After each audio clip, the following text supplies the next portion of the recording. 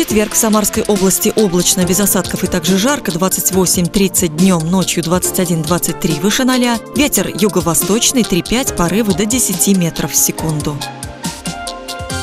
В Сызрани облака днем плюс 28, ночью плюс 20, юго-восточный ветер 5 метров в секунду. В Тольятти малооблачно, днем плюс 26, ночью 23 выше 0, юго-восточный 5 метров в секунду.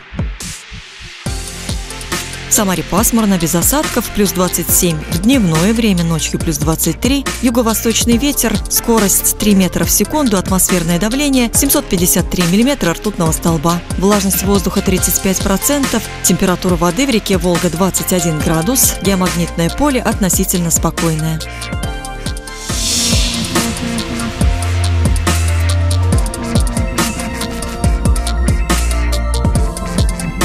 Прогноз погоды предоставлен погодным порталом kismeteo.ru.